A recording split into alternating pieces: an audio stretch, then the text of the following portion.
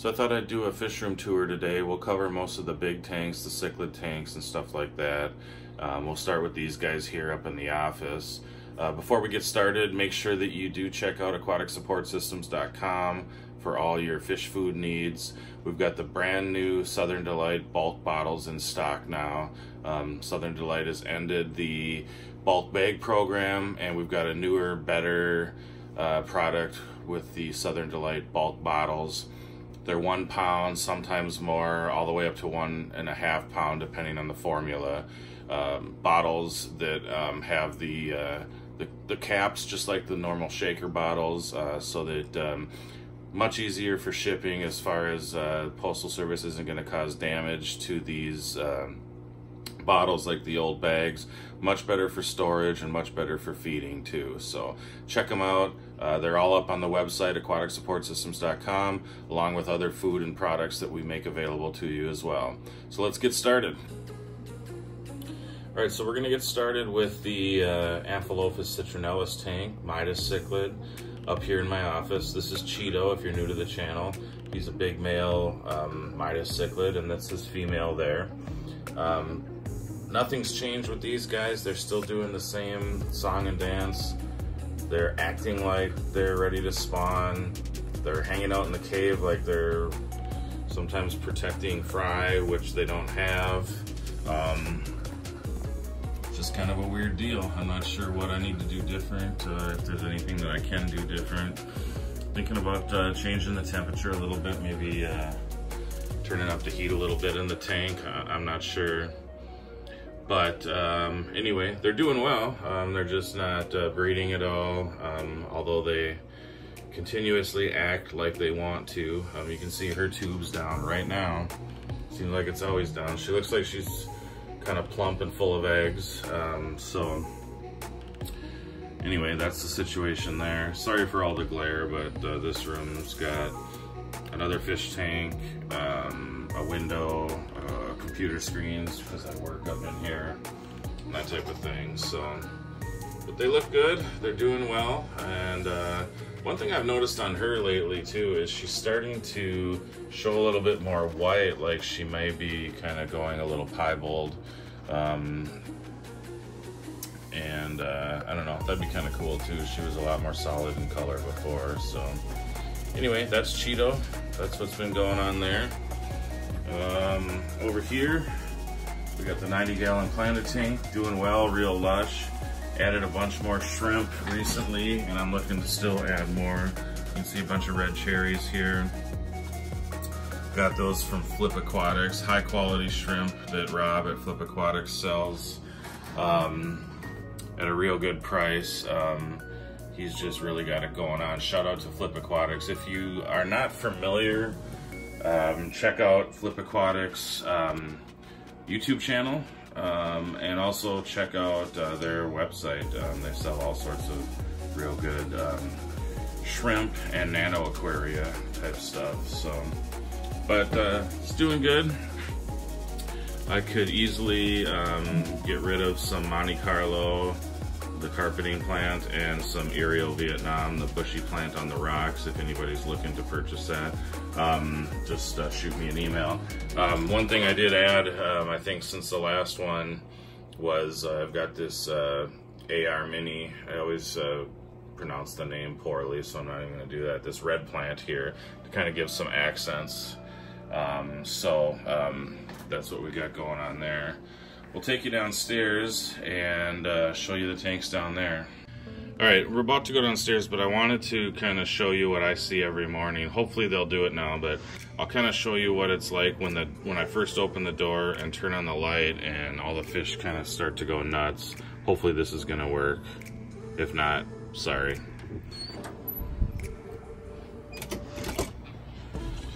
So a lot of times when I first come down in the morning, they all start to go crazy because they know that I'm the provider of food. You can see, yeah, they're, kind of going nuts a little bit, but um, just kind of give you a quick overview and then we'll go through each tank.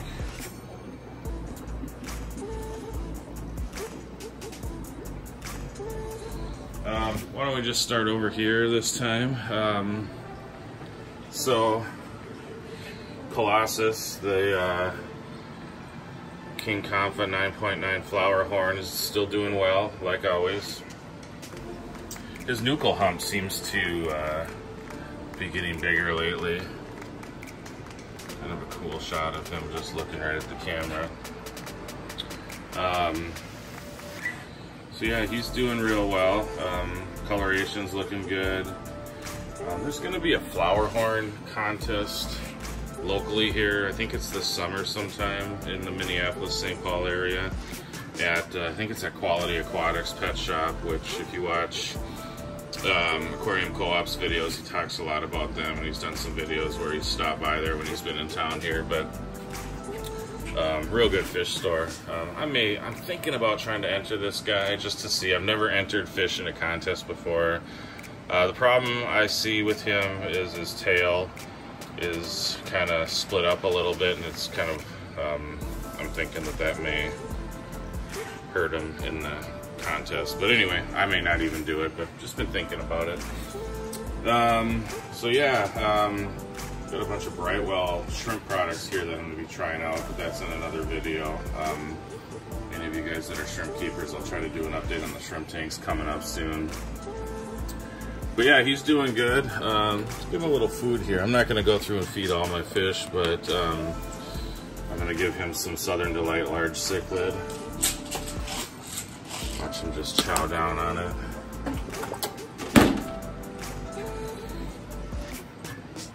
Like I said at the beginning of the video too, Southern Delight bulk bottles, we got them in stock. Um, if you haven't seen me talk about it before, Here's what they are. Sorry it's kind of dark in this area of the basement, but this is just the nano krill. Um, but anyway, enough on that. Um, down below, we got the other Midas pair. Doing well. They have not bred, but um, kind of come to terms that they probably won't. But you never know with fish. Sometimes, you know, um, I've had other fish that just never breed and then finally one day they do, so we'll see what happens. But they're doing good. As always, this guy's Frisky. This is Cheeto's brother. Don't have a name for him yet. Still uh, trying to find a good name. Getting suggestions, let me know. I've had suggestions before, but nothing that I kind of really saw fitting, so. And then uh, the other flower horn, the red magma is up here and doing well as also as, as always too. Um, colors have just been really nice on him over the last I don't know several months to a year. Um, at one time I thought about getting rid of this guy, but uh, I don't I don't see how I could do that um, with how nice he's kind of turned out. Let's see if we can get him to swim down here.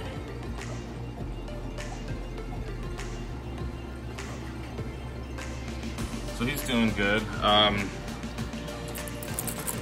I know I talked about Aquashella a while back. That went well. Um, we went down to Dallas for that. If I met any of you guys there, it was good to see you.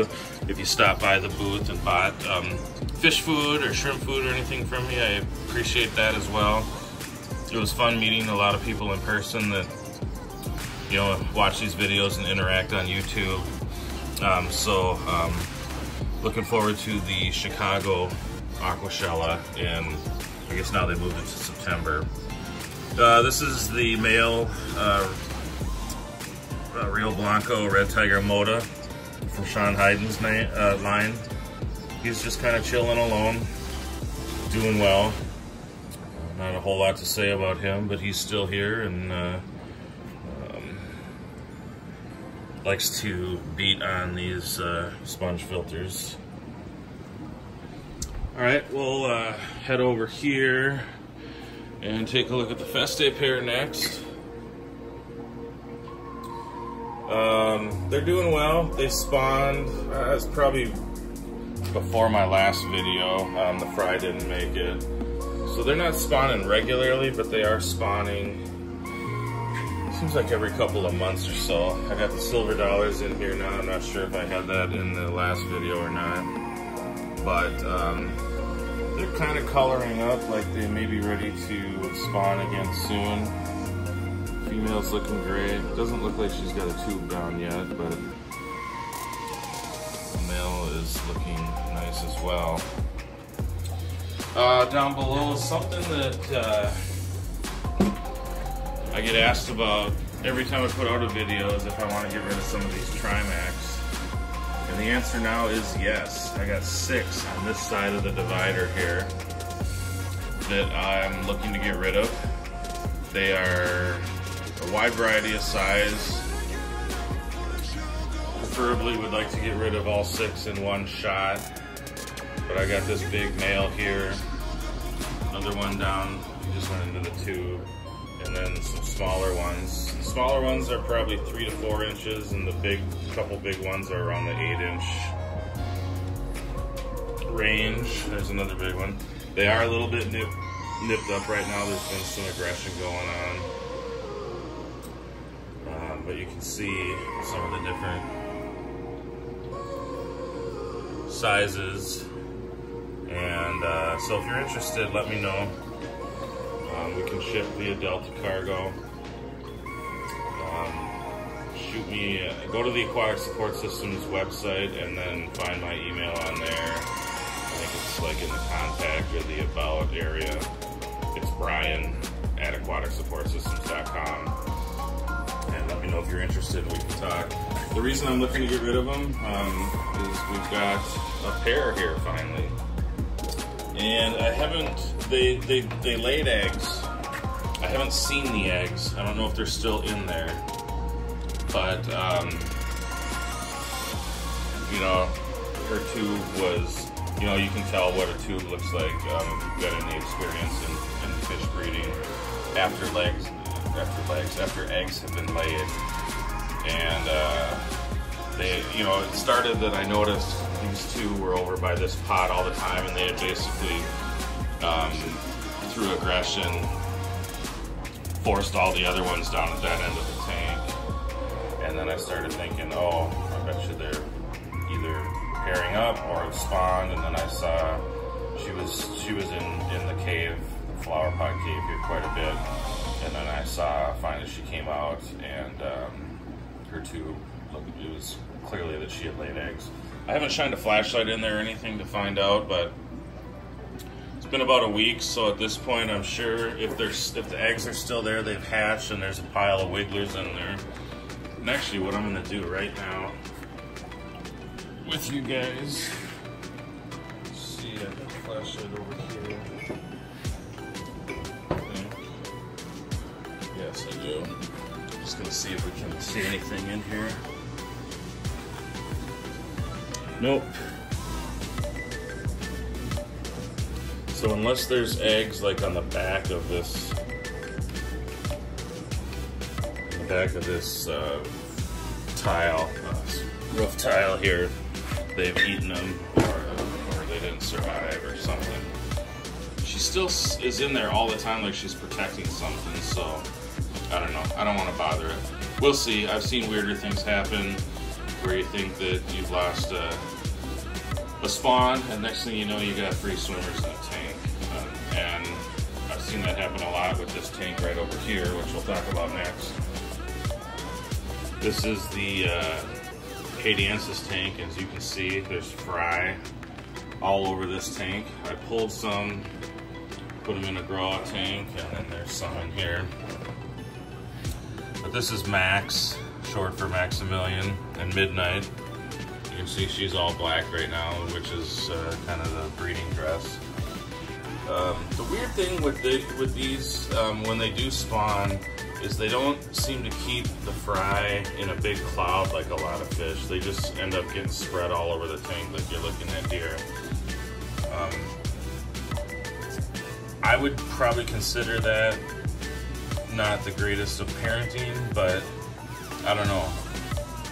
This guy is just a beast, by the way. Have I said that before? Love this fish. Check him out. Yeah, there you go. It's always cool to get that on film. Pretty protective right now. Um, I did try to clean with that mag float down there, um, and uh, they were all over attacking that thing. So.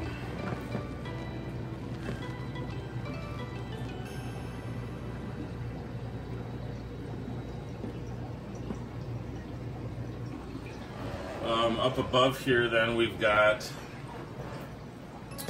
the Redis latest pair along with the uh, Sieboldi in there.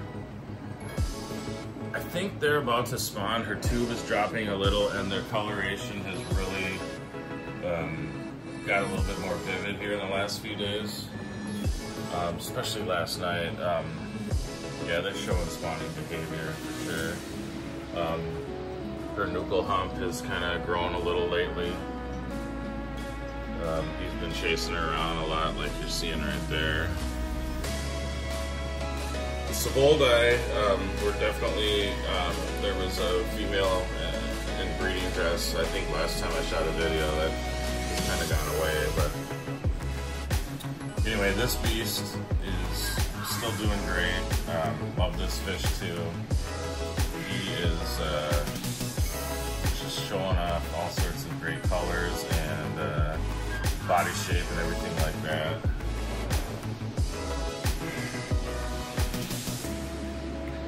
He's ready to spawn with her and he's chasing her all around, so there's a good shot of a nice, nice looking Sieboldi too.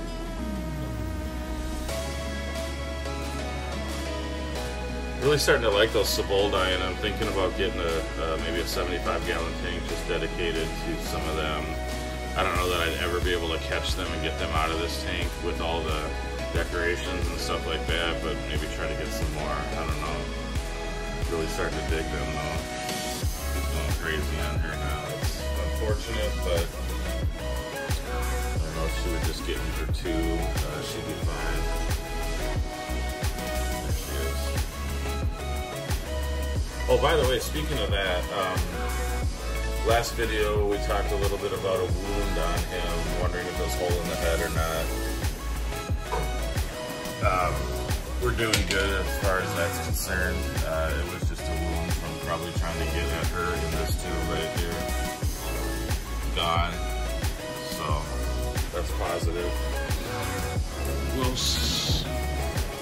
I'm on a chair. If you hear that noise, we'll roll over here to Magnus's tank. This is uh, a wild caught pair of uh, Rio Magdalena umbees, Kronoheros umberiferus. One thing I've noticed on him is his nuchal hump is starting to get bigger again. Um, if you look back on some of the last few videos, it was basically almost non-existent, and uh, now definitely has some more nuchal, which is cool. They've been acting a little bit different lately. I've got no. I know that they're not to breed again, but sometimes it makes me think they're they're trying. She hangs out over here a lot more, and they they keep clearing out uh, rock area.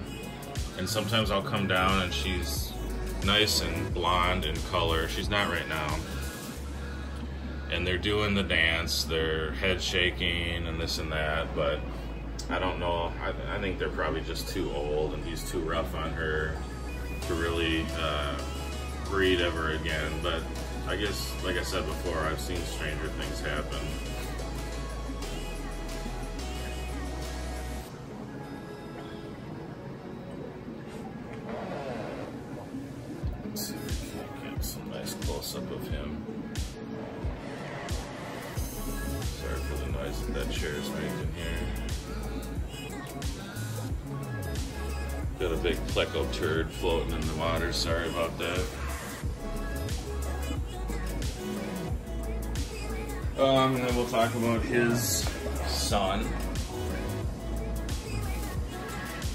Optimus.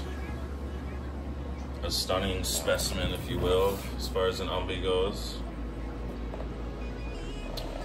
and his female friend here, Matrix. She's been in this um, in this uh, flower pot for quite some time, And I think there may, hard to tell, but I think there may be some eggs on this wall here. She's like super protective. I went in to try to fix one of the sponge filters last night. She all out attacked me, which she's never done before when I've had my hands in the tank.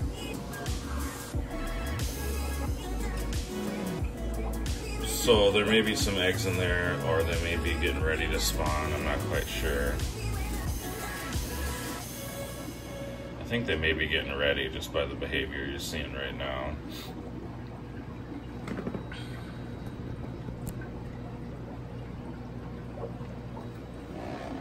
Up above here, this is the uh, the mixed tank. Um, I'm going to be getting rid of these six black belts here, so if you're interested, let me know. We can try to work something out. Again, like I said on the uh, with the uh, with the Trimac, just go to the Aquatic Support Systems website and find my email on there. Shoot me an email. It's brian at aquaticsupportsystems.com.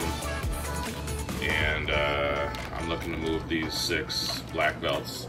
Um, they've got some tail nipping and stuff like that. They're just not, they've colored up very nicely, but I've just got too many fish in this tank and um, I want to get rid of them. I wish I could keep them, but I've got no space. This Midas is doing well. I think it's a female. The Motas are doing good. There's the male and the female right there. And then, of course, uh, the uh, Silver Arowana doing good as well.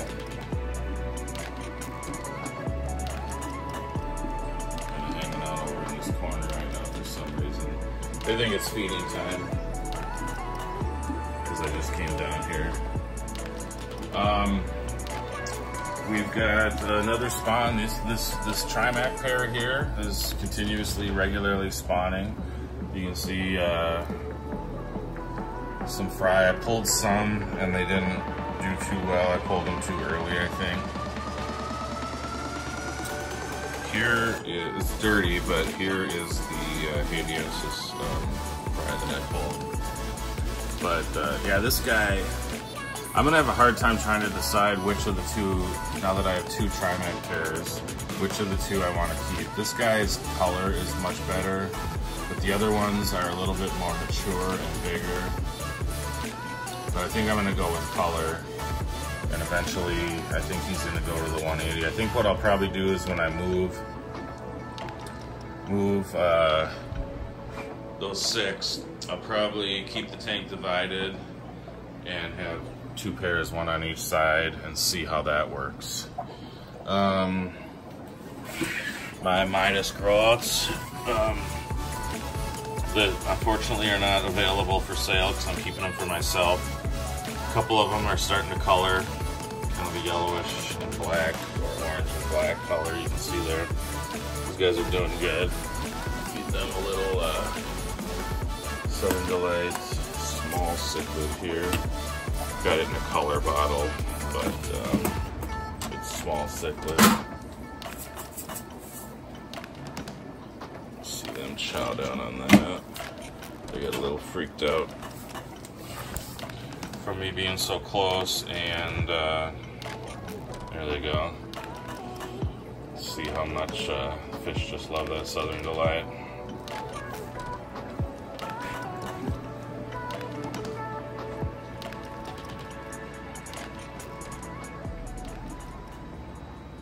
So that's really all I got for you at this point here. Um, I want to thank everybody that subscribes to this channel and watches the videos. Um, make sure you leave a comment. If you've got any questions, let me know. Um, hit that like button on your way out. And if you're new to this channel, make sure that you subscribe and hit that notification bell so that you get notified every time that I do do a video. I try to do regular videos on the cichlid tanks, also on my uh, reef tanks and my shrimp tanks. Um, and again, if you're looking for any fish food, shrimp food, fish related products, uh, go over to aquaticsupportsystems.com and check it out. I really appreciate it. Um, even if you're not in the market right now or don't need any food, um, if you do me a favor and just go check out the website, um, anytime somebody goes to the website, it helps our traffic and helps us move up on the Google SEO search. So I just appreciate any traffic at this point. So Thanks again for watching. Until next one, take care.